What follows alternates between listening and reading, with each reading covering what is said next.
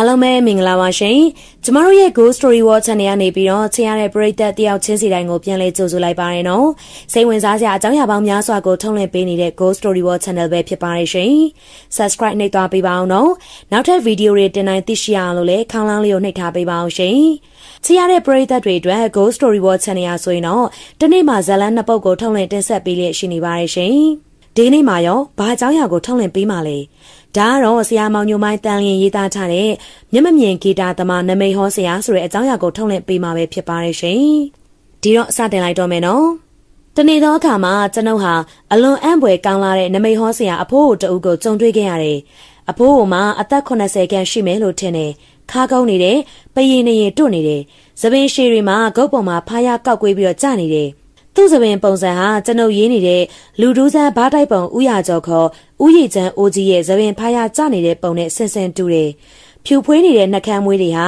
ကွန်တရီနီနီကြံကြံတွေပေကြံနေပြီးတော့သူ့ပါဆက်သေးသူတိုင်ကုတ်ဝင်နေတယ်။သူဟာရင်စေးတိုက်ပုံပင်နီချမ်းကိုဝတ်ထားတယ်။ပင်နီချမ်းတိုက်ပုံရင်ဘက်မှာလည်းကွန်တရီတွေကပေကြံနေတယ်။ပစိုးကတော့ကချင်ကွက်ပစိုးအနွမ်းနဲ့ဖြစ်တယ်။သူ့လက်ထဲမှာလည်းအလွန်ရှေးကြလာတဲ့ ဟွန်တရောအိုကြီးတစ်လက်ရှိပြီးတော့ကျွန်တော်ရောက်တဲ့အချိန်မှာအဖိုးအိုဟာတချမ်းတစ်ပုတ်ကိုဟွန်တရောအိုကြီးထိုးပြီးတော့ကိုရိုင်းတီးဆိုနေတာ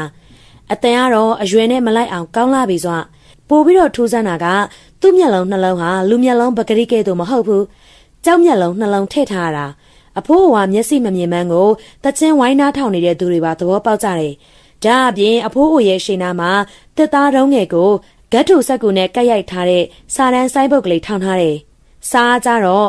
မနောဂီတဘေးတင်ဆရာတဲ့သူ့အနီးမှာစရစ်ဝိုင်းလေးနဲ့ရှင်မီအင်ကြီးတရက်ထဲထမိန်အဖာလေးဝတ်ထားတဲ့အသက်ရှစ်နှစ်ခန့်ကလေးမတအူးလေးပါရှိတယ်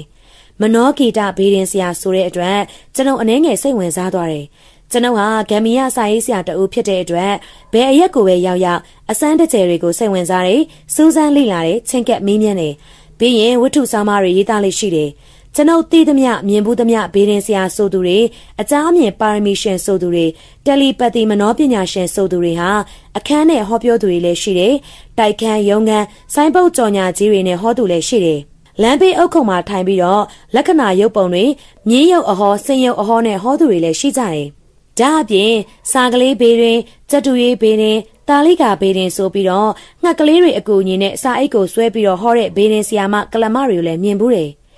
ကျွေစိတ်ဘေးရင်ဆိုတာကိုလည်းမြင်ဘူးတယ်။တရုတ်ဘေးရင်ဆိုတာကိုလည်းအမွှေးတိုင်ရဲနဲ့တင်းတင်းနဲ့လမ်းတစ်ဘေးမှာမြင်ဘူးတယ်။မနောဂီတာဘေးရင်ဆိုတာကျွန်ုပ်မမြင်ဘူး။အဲ့လိုစိတ်ဝင်စားစလို့ရှိနေစမှာမျက်မမြင်အဖိုးကြီးဟာဟွန်တရောအိုကြီးနဲ့တချင်တစ်ပုတ်ကိုစပြီးတော့သိဆိုတယ်။အလိုကောင်းလိုက်တဲ့အတန်နဲ့ဒါပေါ်သေးသေးတချင်မဟုတ်ဘူး။ဆရာကြီးရွှေတိုင်ညွတ်ရေးပြီးတော့အစိုးရကြီးဒေါ်ကြီးအောင်ဆိုခဲ့တဲ့အောင်ဗလအလွမ်းပြေတချင် ဦးအောင်ဗလာကမင်းသမီးလိုတရုပ်ဆောင်ခဲ့တဲ့ရှေးသဘင်ပညာတဲ့အလွမ်းကိုပြန်တန်းထားတဲ့တခြင်းကြည်စမ်းပါဗျာကြားရခဲပေခြင်းရဲ့အားလုံးသောပရိသတ်တွေကအဖိုးအိုရဲ့ဟွန်တရောနဲ့အစိုးတမ်းမှာနင်မျောပြီးတော့နေကြတယ်မျက်မမြင်အဖိုးအိုဟာတချင်းအဆိုကိုရက်လိုက်ပြီးတော့အတီးပိုက်ကိုဟွန်တရောတလန့်နဲ့ဒူးပောင်လောက်စီးဝါတီးပြီးတော့နှွဲ့နေရကဟွန်တရောတန်ဟာဝိုင်းကြည့်နေတဲ့လူအုပ်ကြီးကိုညှို့ယူဖန်ဆားထားသလိုရှိနေတယ် တရောတန်ဆုံးတာနဲ့မျက်မမြင်အဖိုးအိုကအဆိုအတီးကိုခိတနားလိုက်တယ်အဲ့ဒီအချိန်မှာစရဝါရှမင်းအင်ကြီးနဲ့အသက်ရှစ်နှစ်ခန့်ရှိတဲ့မိန်းကလေးကအမိအဖအကိုအမဦးဦးတော်တော်ပြိတ္တများရှင်ဟောရိယတယောသမားကြီးကျမရဲ့အဖိုးအမိကဦးရွှေဘုံညိုလို့ခေါ်ပါတယ်ရှင်အသက်80ရှိပါပြီအသက်50အရွယ်မှာကားတိုက်ခံရပြီးတော့မျက်စိနှလုံးကွယ်ခဲ့ရပါတယ်အဘဦးရွှေဖုံညိုဟာတစ်ချိန်တစ်ခါတုန်းကမဟာဂေဒသမားတူပါအခုအဖိုးဟာဒီဟွန်းတရောနဲ့တချင်းဆိုပြပေးတိုင်းမနောစိတ်ပညာနဲ့လူတယောက်ရဲ့ကံကြမ္မာအကောင်းဆိုရှေ့ပြစ်နောက်ပြစ်တွေကိုသုံးငုံဟောပြောပေးလိရှိပါတယ်ရှင်စိတ်ဝင်စားသူတွေဝင်ရောက်မေးမြန်းလေ့လာလို့ရပါတယ်ရှင်ပညာပူဇော်ကားကတော့မိမိတို့တရားရှိသလောက်ပဲဖြစ်ပါတယ်ရှင်အားလုံးကိုကျေးဇူးတင်ပါတယ်ကြည်စမ်းပါဗျာရှင်မီအင်ကြီးအနွမ်းလေးနဲ့ကလေးမလေးအဖိုးအိုရဲ့မြေးမလေးရဲ့ပါးပေါ်မှာတနခါပကွက်ကြားခတ်ထူထူနဲ့နှာကြားမှာတနခါတင်လို့ ကြည်လင်တဲ့အတန်လေးနဲ့သူ့ရဲ့အဖိုးမနောဖေရင်နဲ့ဟောပြောနိုင်တဲ့အကြောင်းကိုကြီးညာနေလေရဲ့အဲ့ဒီအချိန်မှာပဲမျက်မမြင်မနောဂီတဘေးရင်ဆရာဆိုသူအဖိုးအိုကဟွန်တယောက်လေးနဲ့အတန်ချေစင်းချောင်းလေးစပေးလိုက်ရောရှက်အင်းကြီးနဲ့အဖိုးအိုရဲ့မြေးလေးကတချင်းတစ်ပုတ်ကိုကောက်ဝင်လိုက်ရောဗျာအလိုလေဘိုးအေမျက်မမြင်ကြီးလိုပဲကောင်းလိုက်တဲ့အတန်ကြည်လိုက်ပြီးလိုက်တဲ့အတန်များ ကလေးမလေးဆိုနေတဲ့တချင်းကနန်းတော်ရှိဆရာတင်ရေးပြီးတော့အစိုးရကြီးအမေမန္တလာမြင့်တီဆိုဓပြရတဲ့ရွှေဘိုတနခါတချင်း။အိုဗျာကောင်းလိုက်တဲ့အတန်နဲ့တချင်းနဲ့သူ့ပါဘဝတနခါအကွက်ကြားလေးနဲ့သူဆိုတန်ဟန်ပန်ကတကယ်ကိုပြိုင်ပွဲဝင်အစိုးရတူလားပဲ။စင်မြင့်မော်ကအစိုးရတူလားထင်ရပြီရဲ့။ ခတ်တူတို့ခက်ရှင်းရှင်းဆိုရင် သူမတို့မြေဖို့အဲ့ဒီနေ့မနက်တုန်းကဈေးရှိကုတ်ကိုပင်အရေးအောင်မှာအောင်ပလအလွမ်းပြေတချင်းရွှေဘိုတနခါတချင်းဆနလရာသီတချင်းနဲ့ရှင်သီဝလိတချင်းစတဲ့ရှာရှာပါပါခင်ဟောင်းတချင်းတွေကိုစေတနာတရားတရားအပြည့်နဲ့တီဆိုဖျော်ဖြေသွားတဲ့တိုင်ဘသူမှသူတို့ရဲ့မနောဂီတာဘေးတင်ကိုဝင်ရောက်မေးမြန်းလေ့လာကြည့်ရှုသူတရားမှမရှိခဲ့ဘူးရှန်အင်းကြီးနဲ့ကောင်မလေးကတက်သားဖိနိုင်ကုန်းပေါ်မှာထိုင်ပြီးတော့ဘေးရင်လာကြည့်နုံနုံနဲ့မျောလင့်နေရှာတယ် မျက်မမြင်ဂီတသမားကြီးကသူ့ရဲ့ဟွန်တရောကိုဘေးချပြီးတော့ကွန်းမြုပ်နေတယ်။သူတို့အနီးဝန်းကျင်မှာဘယ်သူမှမရှိဘူး။စောစောတုန်းကသူတို့တချင်းတန်ကိုနားထောင်ရင်းနဲ့ကောင်းလိုက်တာလို့ချင်းမွန်းတဲ့သူတွေကလည်းအခုတော့သူတို့မြေးဖို့ဖုတ်လေတဲ့ငပိရှိတယ်လို့မတွေးကြဘူး။ကျွန်တော်သူတို့မြေးဖို့ရဲ့ဘဝဝမ်းစာရှာဖွေမှုကိုကြေကွဲစိုးနေမိတယ်။အဲလိုနဲ့ကုညီယာလေးရောက်အခြေအနေလေးသိလို့တဲ့အတွက်ကောက်ကိုပင်အရေးအောက်မှာသူတို့မြေးဖို့ရှိရာကိုအသာလှမ်းဝင်ခဲ့လိုက်တယ်။ ကျွန်ုပ်ဝင်လာတာကိုမြင်တော့ကလေးမလေးကဝမ်းသာမျက်လုံးနဲ့ကြည့်နေရှာတယ်။သမီးရှင်းဦးဦးအဘစီမှာဘေးရင်ကြည့်ကြလို့ပါ။အော်ဟုတ်ကဲ့ဟုတ်ကဲ့ရှင့်ဖိုးဖိုးဖိုးဖိုးဘာတော့မြေးရဲ့ဒီမှာဦးတယောက်ကမနှောဘေးရင်ကြည့်ကြလို့တဲ့ဖိုးဖိုးအော်အော်အော်ထိုင်မှာကြွပါခမအဖိုးအိုကလေးစားစွာနဲ့ဖိတ်မှန်တကပြုတယ်။ရှင်မီအင်ကြီးနဲ့ပကွက်ကြားမင်းကလေးကကျွန်ုပ်ထိုင်ဖို့အတွက်သူ့တစ်သားဖိနိုင်ကုန်လေးကိုချပေးတယ်။နာမည်ဘလို့ခေါ်ပါသလဲခမ။ ကိုချစ်စရာလို့ခေါ်ပါတယ်ဗျ။အော်ကိုချစ်စရာလေလား။အသက်ကရောကွယ်35နှစ်ပါဗျ။အေးရပြီလူကလေး။လူကလေးကိုချစ်စရာကို အဘကဂေတာမနောဘေရင်နဲ့ဟောပြောပေးပါမယ်။ဥစွာဂေတာမနောဘေရင်ဆိုတာကို ရှင်းပြပါရစေ။ဒီပညာဟာဘေရင်လေးပုံမှာပါခြင်းမှပါပါလိမ့်မယ်။ဒါပေမဲ့အဘရဲ့ဘဝမှာဂီတာတချင်းတစ်ပုဒ်ကိုဆိုပြီးတီးပြီးရင်အန်ဩစရာကောင်းတဲ့မနှောအမြင်စိတ်သမထအာယုံစမ်းကိုရနေမြင်နေရတယ်။ ဒါလည်းလူလူလားလားမေးသူရှိမှမြင်ရကြားရတာ။ကဲအဘာတချင်းတပုံနှစ်ပုံနဲ့အာယုံစံသွင်းမရစေတာရဲ့ခဏလေးဆောင်ပါနော်။ဟုတ်ကဲ့ပါလောက်ပါဗျ။အရီနာမှာထူးဆန်းတဲ့မျက်မမြင်ဂီတာအဖိုးအိုဟာလက်အုပ်ချပြီးတော့ဖះကိုအတန်းကြားအာယုံပြုတ်နေလေရဲ့နှုတ်ကလည်းအတန်မထွက်ဖဲနဲ့တိုးတိုးတိုးတိုးရွတ်ဆိုနေလေရဲ့အဲဒီနောက်မှာသူဟာဟွန်တယောအိုကြီးကိုကောက်ကင်ပြီးတော့ဖះခုံတော်နဲ့ဆက်လင်းတဲ့တချင်တစ်ပုတ်ကိုစပြီးတော့ပူဇော်တီးဆိုလိုက်တယ်။နားထောင်လို့စက်တည်ရှိလာပြီစွာ ကျွန်ုပ်ဟာဖျားဖုံးတော်ပွဲတခြင်းမှာကြည်နူးနေစဉ်သူကနောက်တစ်ပုတ်ကိုတီးဆိုပြန်တယ်။သူဟာတခြင်းကိုဆိုရင်းကနေကျွန်ုပ်မျက်နှာရှိရာကိုကြောက်မျက်လုံးအစုံနဲ့တစ်ချက်လှမ်းကြည့်လိုက်သေးတယ်။အဖိုးအိုကတခြင်းဆိုတီးစင်းကိုရက်လိုက်ပြီးတော့ကျွန်ုပ်ရှိရာကိုကြောက်မျက်လုံးအစုံနဲ့အာယုံပြုတ်ပြီးတော့ကြည့်နေတယ်။လူကလေးခမ ्या အဘဒီတခြင်းကြားဘူးသလားကွ။ဟုတ်ကဲ့ကြားဘူးပါတယ်ဗျ။ဂိုင်းကြားဘူးရင်ဒီတခြင်းကိုဘသူရေးပြီးတော့ဘသူကစိုးခဲ့ပါသလဲဗျာ။ ဒီတချင်းရဲ့နာမည်ကဘုံတမာတာပါအဖဟုတ်လိုက်လေဗျာပြီးတော့ရေးတဲ့သူကရောဗျ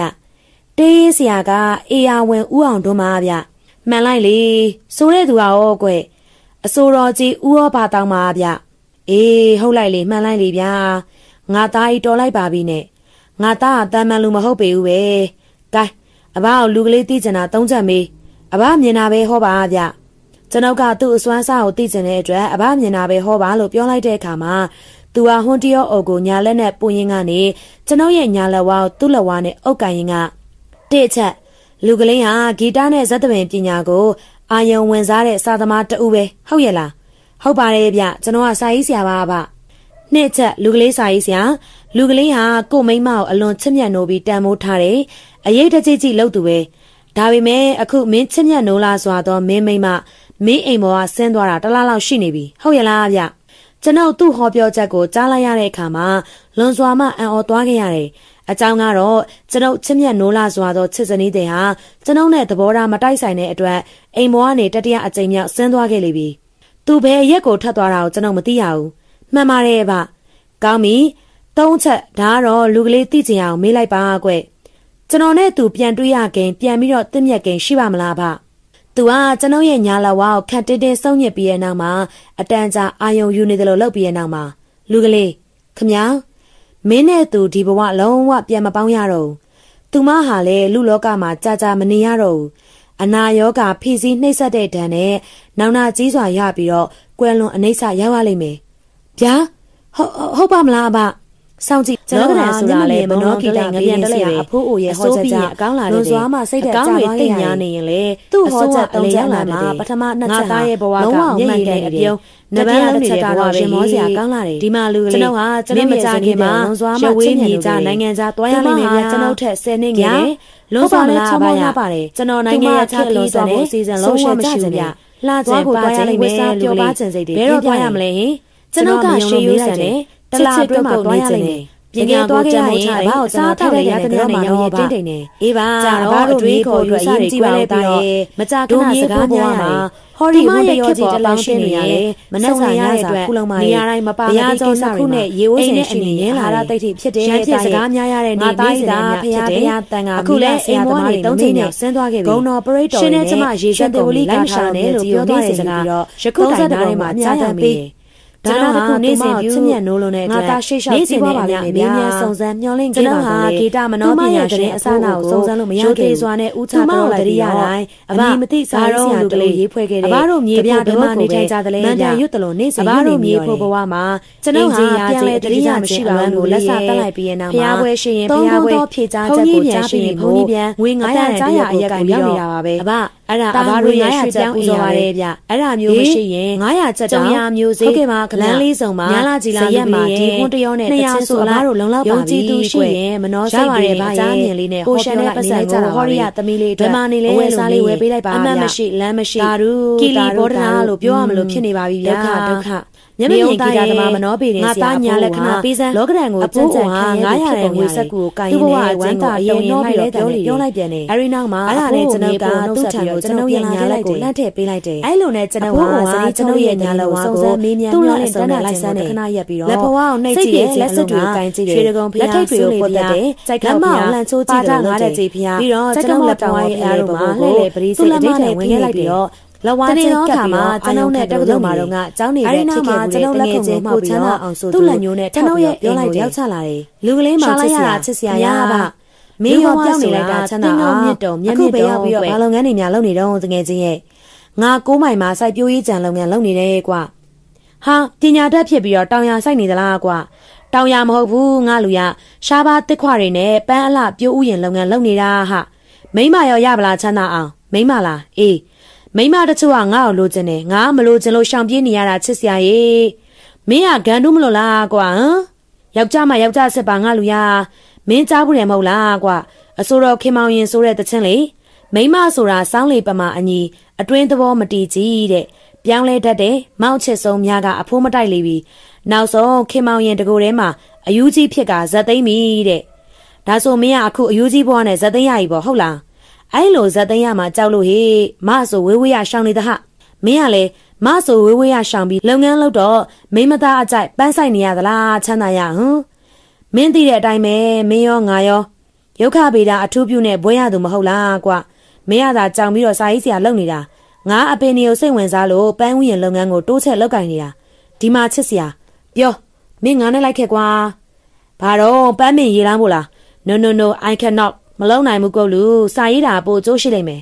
ဟဲ့ကောင်ကတုံးမင်းရောပန်းမီရေလာမို့ခေါ်တာမဟုတ်ဘူးကွငါနဲ့နိုင်ငံသားကိုလိုက်ခဲ့ဖို့ခေါ်နေတာဟေးနိုင်ငံသားကိုဟုတ်တယ်ငါဘာလိုက်လို့ရမှာတော့ဟာမင်းလည်းရုခဗေဒနဲ့ဘွဲရပြီးသားပဲချစ်စရာပြီးတော့မင်းကချင်းတောင်ရောကချင်ပြည်နယ်ကတစ်ခွတွေရောရောက်ဖူးတဲ့လူအခုနိုင်ငံတနိုင်ငံကအာရှတစ်ခွတွေပန်းဥယျာဉ်ကိုတွားလေလာမလို့အဲ့ဒီရပြီးရင်ဂျပန်ကိုဝင်မယ် အာရှသစ်ခွမျိုးစုံစိုက်ပျိုးပြိုးထောင်မဲ့နည်းပညာကိုလေ့လာပြီးရင်ဒိုးနိုင်ငံမှာအဲ့ဒီရပြိုးပင်တွေကိုပြန်ပြီးတော့မွေးမယ်။ပြီးရင်သစ်ခွမျိုးစေ့ပြိုးပင်ဆက်ပြီးတော့အသစ်ကိုဖော်ထုတ်မယ်။ဒီနေရာမှာမင်းကငါထက်သစ်ခွဆိုင်ရာအသိပညာမှာအတွေ့အကြုံတွေများလို့မင်းကိုလာခေါ်ရတာ။ကျွန်ုပ်ဟာကြားရကြကြောင်လွန်စွာမှအံ့ဩနေတယ်။ကျွန်ုပ်တငယ်ချင်းချမ်းသာအောင်ရဲ့မျက်နှာကိုစိတ်စိတ်ကြည့်နေရနေပြီးတော့သူ့မျက်နှာပေါ်မှာအဘမနောဂီတာဘေးရင်ဆရာကြီးဥရွှေဖုံးညိုဆိုသူရဲ့မျက်နှာပုံရိပ်ပေါ်လာတာကိုလှမ်းမြင်လဲရသလိုရှိနေတယ်။ ချမ်းသာအောင်ဘာတော့ချစ်စရာမင်းနဲ့နိုင်ငံသားကိုလိုက်ရအောင်ငါမှငွေငွေရမလို့ဘူးပူမနေနဲ့လမ်းစိတ်စားစိတ်အားလုံးငါအကုန်ကြခံမယ်ဘဲတော့သွားမှလဲယင်နိုင်ငံကူး passport ပြီးရင်ချက်ချင်းသွားမယ်လိုက်မယ်မဟုတ်လား okay yes okay all right my dear frank အဲ့လိုနဲ့တလားခန့်ကြာပြီးတဲ့နောက်မှာကျွန်တော်ဟာတငယ်ချင်းချမ်းသာအောင်နဲ့ကျွန်တော်တို့သွားတဲ့နိုင်ငံမှာရှိတဲ့ပန်းမျိုးစုံဥယျာဉ်ကိုရောက်ရှိသွားတယ် အဲ့ဒီဥယျာဉ်မှာအာရှနိုင်ငံတွေကတစ်ခွပန်းမင်းတွေနဲ့အပူပိုင်းအေးအေးပိုင်းဆိုင်ရာတစ်ပင်ပန်းမှန်တွေကိုခင်မီတိတ်ပံနီးစနစ်နဲ့စိုက်ပျိုးထားတာတွေကိုလေ့လာခဲ့ကြရတယ်။အဲဒီနောက်မှာပြိုးပင်တဲ့မျိုးစေ့တွေကိုမှာကြားခဲ့တယ်။အဲဒီနိုင်ငံမှာရက်တပတ်တပတ်ကြာအောင်နေပြီးတဲ့နောက်မှာဂျပန်နိုင်ငံကိုခရီးဆက်ခဲ့ကြတယ်။အဲဒီမှာတစ်ပင်ဘူးတွေအကြောင်းနဲ့ပန်းလှပြင်ပညာရက်တွေကိုလေ့လာစီးပူးပြီးတော့လိုအပ်တဲ့အပင်တွေကိုဝယ်ယူခဲ့ပြီးမြန်မာနိုင်ငံကိုပြန်လာခဲ့လိုက်ကြတော့တယ်။ ကျွန်တော်ဟာဂျပန်မှပြန်လာပြီးတဲ့နောက်မှာအဲ့ဒီနှစ်နိုင်ငံရဲ့တစ်ခွတွေနဲ့အာရှတော်ဝင်ပန်းမျိုးစုံပြုစုပြောထောင်ခြင်းဆိုင်ရာလုပ်ငန်းတွေကိုအင်္ဂလိပ်မြန်မာနှစ်ဘာသာနဲ့စာအုပ်တအုပ်ရေးသားခဲ့ရာအဲ့ဒီစာအုပ်ဟာလည်းမြန်မာပြည်ဈေးကွက်မှာပေါက်သွားတဲ့အတွက်ငွေလုံးငွေရင်းအတော်များများရရှိပြီးတော့ဟန်ကြပန်ကြရှိခဲ့တယ်။ဒါအပြင်တငယ်ချင်းချမ်းသာအောင်ကလည်းသူ့ရဲ့ဒုက္ခချမ်းသာပန်းမျိုးဥယျင်ကြီးမှာအကြံပေးခန့်ပြန်တဲ့အတွက်နေရင်ထိုင်ရင်နဲ့လစာနှစ်သိန်းမှရပြန်တဲ့အတွက်ကျွန်တော်အတွက် အကျိုးကျေးဇူးဖြစ်ရင်ဖြစ်နေပြန်တယ်။အဲ့ဒီခါမှာကျွန်တော်ဟာလွန်ခဲ့တဲ့2လ3လခန့်ကကျွန်တော်ရဲ့ဘဝရှေ့ကြောင်းနောက်ကြောင်းဖြစ်စဉ်ကိုဟွန်တယော်ကြီးထိုးတချင်းဆိုပြီးတော့မှမနောစိတ်ပညာနဲ့ဟောပြောခဲ့တဲ့မျက်မမြင်ဂီတမနောပေရင်ဆရာကြီးဥရွှေဖုံးညိုကိုတွားပြီးတော့တတိရတော့တယ်။အဘဆရာကြီးရဲ့ကြိုတင်နမိတ်ဟောချက်တွေကမှန်လိုက်လေခြင်းအဘဆရာကြီးကိုကျွန်တော်တွေ့ကျင်တယ်ကျေးဇူးပြုကျင်တယ်အဘဂီတဘေးရင်ဆရာကြီးဘယ်ရက်မှများရောက်နေပါလိမ့် ကျွန်ုပ်ကအဲ့ဒီအန်ဩပွဲဖြစ်ရဲ့စမ်းကြဲအကြောင်းတွေကိုတငယ်ချင်းချမ်းသာအောင်ကိုပြောပြတဲ့အခါမှာချမ်းသာအောင်ကရင်းနေတယ်။တိုက်ဆိုင်မှုတစ်မျိုးပါချစ်စရာရတိတ်လဲအစွမ်းလန်းဖြစ်မနေပါနဲ့။အဲ့ဒီမှာဒေါခင်မမစိန်ဆိုသူအပြိုတထေးမကြီးနဲ့ကိုချောထွန်းမြတ်ဆိုသူစီးပွားရေးလုပ်ငန်းရှင်တဦးတို့ကမနောပေရင်ဆရာကြီးကိုလွန်စွာမှစိတ်ဝင်စားကြတယ်။ကျမစိတ်ဝင်စားတယ်စာရေးဆရာ။ကျွန်တော်လဲဒေါခင်မမစိန်လိုပဲစိတ်ဝင်စားတယ်စာရေးဆရာကြီး။အဲ့ဒီဆရာကြီးကိုဘယ်မှာတွေ့လို့ရမလဲဟမ်။ သူကနေရအတီတကြမရှိဘူးဗျဖျားပွဲရှင်ဖျားပွဲဖျားပွဲမရှိရင်ကြုံရမြို့ရွာတွေမှာလှည့်ပြီးတော့ဟွန်တရောတလန့်နဲ့မြေးမလေးအကူကြီးယူပြီးတော့သွားနေတာပဲစုံစမ်းစမ်းမှာစာရေးဆရာရဲ့ကျမကြုံကြံလို့ပါဟုတ်တယ်ကိုချစ်ဆရာတွေ့ရင်အကြောင်းကြပါဗျာနော်စိတ်ချဗျာကျွန်တော်လဲဆရာကြီးကိုကျေးဇူးပြုကျင်လို့လို့မတွေ့တွေ့အောင်လိုက်ရှာပြီးတော့စုံစမ်းပါပါဗျကျွန်တော်တို့ပြိုးဥယျာဉ်မှာလမ်းခွဲပြီးတော့ကျွန်ုပ်အိမ်ရှိရာကိုကားစီးပြီးတော့ပြန်ရောက်တဲ့အခါမှာအိမ်မှာဧည့်သည်ရောက်နေတယ်ဧည့်သည်ကတော့ပဲခူးမြို့မှာနေတဲ့ကျွန်တော်ဇနီးရဲ့အမဖြစ်သူ အမဘယ်တော့မှရောက်နေရလဲစောစောကပဲမောင်ချစ်စရာအရေးကြီးလို့လားယင်အမအေးကွယ်ဘာလဲယင်အမမကြီးဖြစ်သူမချမ်းမြထွေရဲ့မျက်နာကညှို့ရိတ်တန်းနေတယ်အဲဒီနောက်မှာမျက်ရည်ပေါက်တွေမျက်လုံးအိမ်ကနေပြီးတော့တလိမ့်လိမ့်စီးကြပြီးတော့ရှိုက်ကြီးတင်ငင်ငိုတော့တယ်အမဘာဖြစ်လို့လဲဘာဖြစ်လို့လဲမင်းမင်းမင်းမိမပြန်ရောက်နေတယ်ဗျာကျွန်တော်ဇနီးပြန်ရောက်နေတယ်အမတို့ဘကွေးမှာလာရင်အမဟမ်ဟမ်လို့ဟုတ်တယ်အိုးအမလည်းဘာလို့ငိုနေရတော့အမရဲ့ ဒါနဲ့မှွေမှွေနေကောင်းတယ်မလားယင်အမသူသူတိုက်ဖိုက်ယောဂနဲ့ဆုံးသွားပြီဗျာကြားရတဲ့စကားကြောင့်ကျွန်တော်ဦးကောင်းချာချာလဲသွားတော့တယ်အဲ့ဒီမှာမကြီးလို့သူကဖြစ်ချောင်းကုံစင်ကိုပြန်ပြောပြတယ်သူမရဲ့ရှင်းပြချက်ပြောပြချက်တွေကျွန်ုပ်ရဲ့နားထဲကိုဝင်လာတစ်ချက်မဝင်လာတစ်ချက်ကျွန်ုပ်ရဲ့မျက်လုံးအိမ်ထဲမှာတော့ကျွန်ုပ်တို့ချစ်သူဘဝကပျော်ရွှင်ခဲ့တဲ့ပုံရိပ်တွေကိုမြင်လိုက်ဇနီးတဲ့မွေးရဲ့ဒေါသပုံရိပ်တွေကိုမြင်လိုက်အခုတော့တသက်တခါ တလွာတရွမ်းလိုပိုင်းဖြတ်ထားတဲ့အချစ်ဆိုသောပန်းတပွေ၆တွေ့သွားခဲ့ပြီအေးလေဒီပန်းချောက်ကလေးရဲ့ရနံလေးကိုပဲအချစ်လက်ကြံအလွမ်းလက်ကြံအဖြစ်နဲ့တင်ထားရုံမှတပါဘာမှမရှိတော့ကြောက်တန်းမြို့ရေးလေဖျားပွဲကြီးစနေတဲ့အတွက်ကျွန်ုပ်ရောက်သွားခဲ့တယ်ကံကောင်းလေစွာဖျားပွဲမှာကျွန်ုပ်လိုက်ရှာနေတဲ့ဂီတမနောဘေးတင်ဆရာကြီးအဘရွှေဖုံးညိုတို့မြေအဖို့နဲ့ပတ်ပင်းကိုစုံတော့တာပဲအဘရွှေဖုံးညိုဟာ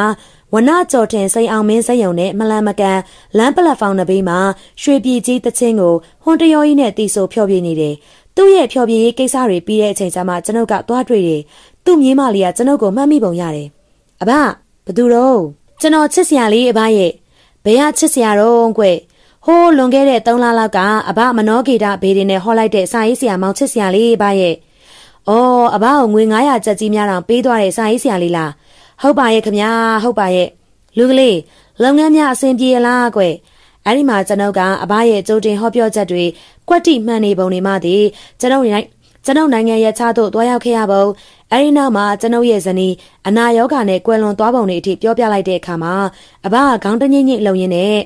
ဒီလိုပဲပေါ့လူလေးရဲ့လူဘဝဆိုတာကံစုံစားကံကုံသွားကြည့်ပါပဲကံကံရဲ့အကျိုးကိုလူတိုင်းခံစားကြရစမြဲပဲအဘခမညာဘာတော့လူလေး အဘဒီဖျားပွဲမှာနေတိုင်းညတိုင်းရှိနေအောင်မလားအဘရှိမယ်ဘာကိစ္စရှိလို့လဲကျွန်တော်မိတ်ဆွေနှစ်ဦးအဘနဲ့စုံပေးကြလို့ဟုတ်လားခေါ်ခဲ့မယ်နော်အေးအေးအေးခေါ်ခဲ့ဟောတာအဘနဲ့အဘမြေးအတွက်ဒါကြော့လက်ဆောင်ပေးတာပါဗျဘာရီများတော့လူကလေးရဲ့ဒုက္ခရှာလို့ကွဒါကချင်ပစိုးဒါလေကတုံးလက်ရှိဟောတာကတက်ထရက်တိုက်ပုံဟေးများလာကြည်လားလူကလေးရဲ့တန်မိုးကြီးတွေပါလားဟဲ့ကြံသေးတယ်ဗျဟာလုံလာကြည်လားလူလေးရဟောတာကအဘဖို့အနှွေးတယ် ဒါကတူမလေးဝတ်ဖို့ထမိန်အင်ဂျီနဲ့ဖနက်မိတ်ကပ်ဘူးအလိုလေးများလိုက်တာသားရဲ့อืมဒါရုဒါရုဒါရုအဘရဲ့အသက်80ဘဝတာခရီးမှာငါသားလူကလေးလိုလူမျိုးဒီတယောက်ပဲတွေ့ဘူးသေးတဲ့ကွငါသားလူကလေးကျမ်းမာချမ်းသာပါစေဖုံးကြီးပါစေတက်ရှိပါစေစာပေလောကမှာအညွန့်တလူလူနဲ့ဂုံတရင်မှုှေးချူပါစေဗျာပေးတဲ့ဆုနဲ့ပြည့်အောင်စူးစမ်းပါမယ်အဘခမမနုဆိုတဲ့ အဘဆရာကြီးရဲ့အမည်မလေးဟာဝမ်းသာလွန်တဲ့အတွက်မျက်ရည်တွေစီးကျလာပြီးတော့ကျွန်တော်ထိုင်ကြော့နေတယ်မျက်နှာမောကြည့်လိုက်တဲ့အခါမှာပကွက်ကြားပေါ်မှာမျက်ရည်စီးကြောင်းတွေစိုးထင်ပြီးတော့ကြံ့ရင်နေတာကိုကျွန်တော်မြင်လိုက်ရတော့တယ်ဒီနေ့နေကင်းမှာအပြိုကြီးတထေးမဒေါခင်မမစိန်နဲ့အယုံကြည်တိတ်မရှိသူတငယ်ချင်းကိုချမ်းသာအောင်တို့ကြောက်တန်းဖျားပွဲအဘရှိရာသို့လိုက်ပါရောက်ရှိခဲ့ကြတယ်။စိတ်ပါဝင်စားတဲ့ကိုချောထွန်းမြက်ကခီးသွားနေတယ်။ကျွန်ုပ်တို့သုံးကအဘတို့မြေဖို့နေထိုင်တဲ့ရေတမာပင်အောက်ကိုရောက်ရှိခဲ့ကြတယ်။ ကျွန်ုပ်တို့ရောက်ရှိတဲ့အချိန်မှာတောရွာမှာမိမကြီးတအုပ်ကိုအဘကဟောပြောပြီးနေတဲ့အချိန်ဖြစ်တယ်။အဘကျွန်တော်တို့ရောက်နေပြီဗျ။လူကလေးမောင်ချစ်စရာလို့လားကွ။ဟုတ်ကဲ့အဘ။ဒါဒေါခင်မမစိန်နဲ့အဘထံမှာအစစ်ဆေးခံစင်လို့အိမ်အိမ်အိမ်ရှေတိုးဟဲ့သမီးနာမည်ကဒေါခင်မမစိန်မဟုတ်လားဟုတ်ကဲ့ရှင်အသက်ကရောကွ32နှစ်ပါရှင်သမီးညာလည်းအဘကိုကမ်းလိုက် မမစိန်ကသူမရဲ့ညာလက်ကိုဖြန့်ကန်းလိုက်တယ်။အဘကလက်ဝါးကိုနှိပ်ကြည့်တယ်လက်ချောင်းလေးတွေကိုကင်ကြည့်တယ်။လက်မအောင်လှန်ချိုးကြည့်တယ်လက်ခုံတွေကိုစမ်းကြည့်တယ်။ပြီးတော့ခေါင်းတငိမ့်ငိမ့်လှုပ်နေတယ်။အဲဒီနောက်မှာသူ့ရဲ့ရှေးရဟွန်းတရောကြီးကိုကောက်မှပြီးတော့တချင်းတစ်ပုတ်ကိုဆိုလိုက်တယ်။ဒေါခင်မမဆိုင်နဲ့ကိုချမ်းသာအောင်တို့ကဘူးပတိဘာမတိပြုံးပြီးတော့ကြည့်နေကြတယ်။ အဘဆရာကြီးကတောမြိုင်စွန်းအမည်ရှိတဲ့ရှေးခေဟောင်းတချင်းတစ်ပုတ်ကိုလွမ်းလွမ်းဆွေးဆွေးတီးဆိုပြီးရဲ့နောက်မှာတော့ဟွန်တယောကြီးကိုပေါင်ပေါ်မှာချရင်းနဲ့ခင်မမဆိုင်ရဲ့လက်ညှိုးကိုကင်ပြီးတော့ဟောတော့တယ်။သမီးရှင်ငါသမီးကချမ်းသာတယ်။ခင်မမဆိုင်ကပြုံးနေလိုက်တယ်။မာနအလွန်ကြီးတယ်။အမျိုးသမီးကပြုံးနေတယ်။ပစ္စည်းကုံမောင်လွန်းတယ်။နှက်ခမ်းကိုတွန်းလိုက်တယ်အမျိုးသမီးကမကြခင်အိမ်အောင်ကြတော့မယ်ရှင်ဟုတ်ရဲ့လားဆရာကြီးရဲ့ဟုတ်တယ် ကျမဒီတသက်အိမ်အောင်မပြုတ်ဘူးလို့ဆုံးဖြတ်ထားတယ်အဲ့ဒီဆုံးဖြတ်ချက်နေဝင်သွားပြီသမီးဘလို့လူစားမျိုးနဲ့အိမ်အောင်ကြမလဲဆရာကြီးအဲ့ဒါအဖမပြောချင်ဘူးဘာဖြစ်လို့လဲဆရာကြီးအားနာလို့အားမနာပါနဲ့ကျမသိချင်လို့ပါမပြောပြရစေနဲ့သမီးရဲ့ပြောပါဆရာကြီးကျမနားထောင်ရပါတယ်อืมဒါဆိုရင်တော့ပြောရမှာပေါ့ तू ကသမီးထက်အသက်အများကြီးငယ်မယ်အမျိုးသမီးကကျွန်ုပ်တို့ဘက်ကိုလှည့်ပြီးတော့ပြုံးပြနေတယ်။ချမ်းသာသလားဆင်းရဲသလားအဖ ကုန်းကောက်ဆရာမရှိတဲ့သူသမီးရှင်မဖြစ်နိုင်တာဆရာကြီးရဲ့ကျမနှစ်ဘေးမှာပညာတတ်အုပ်စဘောရုပ်ချောတွေအများကြီးဝိုင်းဝိုင်းလည်နေတာ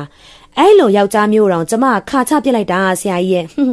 ဟုတ်ပါတယ်အခုနေမှာချမ်းသာတဲ့လူနဲ့ညားခဲ့ရင်သမီးမကြခင်ဆင်းရဲမွဲတေသွားလိမ့်မယ်ဆင်းရဲတဲ့လူနဲ့ညားခဲ့ရင်မကြခင်မှာသမီးဒီထက်မကကြီးကြီးတဲ့ချမ်းသာပြီးတော့နိုင်ငံသားလိုနေရာမျိုးကိုချစ်သူအိမ်အောင်ဘက်နဲ့ပြားရည်စံခီးတွားရပါလိမ့်မယ်။ကဲဒီလောက်ပါပဲ။ ဒေါက်ခင်မမစိန်ကဆရာကြီးရဲ့မျက်နှာကိုရှုံမဲ့ပြီးတော့ကြည့်ပြီးတော့900ရန်တရွက်ကိုလှမ်းပေးလိုက်တယ်။သူ့ရဲ့မျက်နှာမှာမှားပါပြီဆိုတဲ့အနေအထားပေါ်လွင်နေပြီးတော့ကျွန်တော်တို့ဘက်ကိုလှမ်းပြီးတော့ခေါင်းရမ်းပြလိုက်တယ်။အဲဒီမှာကိုချမ်းသာအောင်ကရောက်တုံးရောက်ခိုက်အပျော်သဘောမျိုးကြည့်အောင်မယ်ဆိုပြီးတော့ဝင်စီပြန်တယ်။ထုံစံတိုင်းအဘကကိုချမ်းသာအောင်ရဲ့လက်ဖွားကိုအမျိုးမျိုးစမ်းသပ်ပြီးတဲ့နောက်မှာဟွန်တရောအိုကြီးကိုကန်ပြီးတော့နမိတ်ပြတချင်းတစ်ပုတ်ကိုကောက်ပြီးတော့ဆိုပြီးတီးလိုက်တယ်။ သူဟာငကနေတချင်းပထမတစ်ပိုက်ကိုစိတ်လိုလျက်ပျော်ရွှင်စွာတီးဆိုပြီးတဲ့နောက်မှာကိုချမ်းသာအောင်ရဲ့လက်ကိုကန်ပြီးတော့ဟောလီတော့တယ်။လူကလေးအမည်ကိုချမ်းသာအောင်ပါခမ။ကိုချမ်းသာအောင်ငါသားဘေးရင်တို့နတ်တို့တရေတစီတို့လုံးဝအယုံကြည်မရှိဘူးပဲ။ဟုတ်ပါတယ်ဗျ။ကိုပညာနဲ့ကိုအလုပ်ကိုပဲယုံကြည်တယ်။မှန်ပါတယ်ဗျ။လာမယ့်9ရက်အတွင်းမှာလူကလေးရဲ့အိမ်ရှိခြံဝါမှာ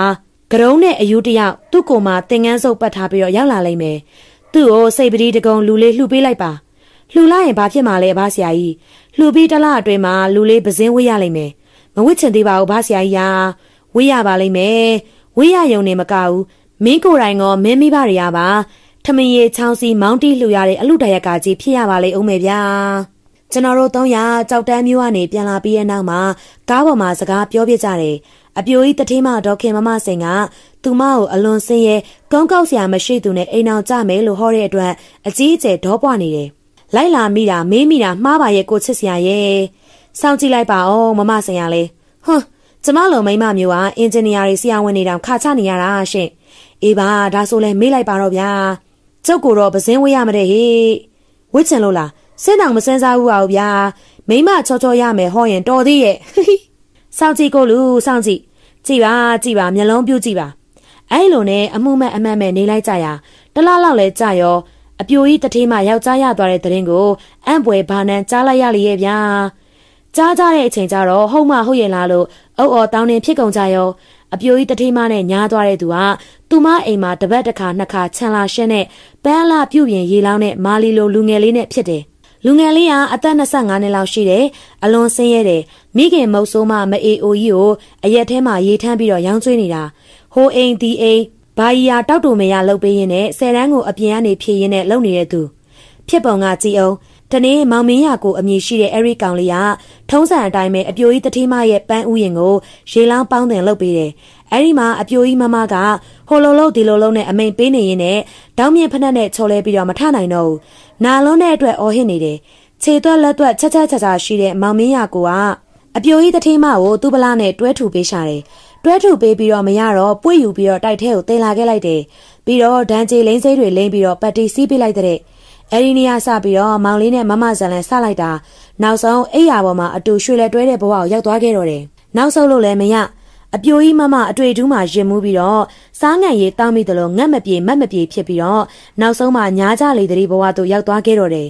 အပြိုကြီးမမခမရှက်ကလည်းရှက်ဆွဲရလဲဆွဲချစ်ကလည်းချစ်ဖြစ်ယုံမကပဲနဲ့ရုံးတက်လက်မှတ်ထိုးလက်ထပ်ပြီးတော့သူ့ရဲ့ငွေတွေကိုအဆက်အသွယ်တွေနဲ့လင်းတော်မောင်ကိုနိုင်ငံခြားလုပ်ငန်းတစ်ခုကိုအရောက်ပို့လိုက်လေတယ်။ကောင်လေးကလည်းစူးစမ်းရှာတယ်။တနေ့ပြည့်တဲ့အခါမှာနောက်ဆုံးပေါ်ကားတစ်စီးကိုချစ်မရမမရရှိရာသို့ပို့လိုက်တယ်။ လင်ရတော်တယ်လို့အရက်ကချီးမွမ်းတယ်။တိတ်မကြလိုက်ပါဘူး။ဒေါခင်မမဆိုင်လင်းတော်မောင်ရှိရာစင်ကာပူနိုင်ငံကိုလိုက်သွားတော့တယ်။ပြောရမယ်ဆိုရင်တော့ချစ်လင်တော်မောင်လေးနဲ့စင်ကာပူနိုင်ငံမှာအားလက်ရတိုင်းပြားရည်စံခီထွက်ကြတယ်ဆိုပဲ။မကြခင်မှာကျွန်ုပ်ထံကိုစင်ကာပူကနေစာတစောင်ရောက်ရှိတဲ့အတွက်